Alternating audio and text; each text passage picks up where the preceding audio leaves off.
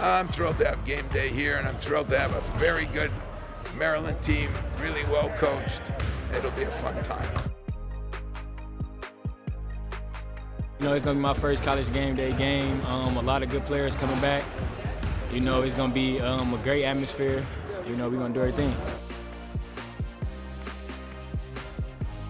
Yeah, good team um, on both ends. They got a good point guard. So, you know, we just have to come out with good energy and hit them first before they hit us. And, you know, we're going to see where it goes from there. Game day is a, it's a great atmosphere. You know, it's college basketball all about, so you always enjoy it every time. We know the Izzone's going to be rocking. We know they're going to come with their best, but we're ready for it. We're going to be prepared for it.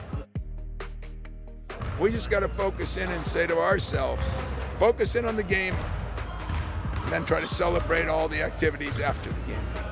And that's kind of the approach we're taking.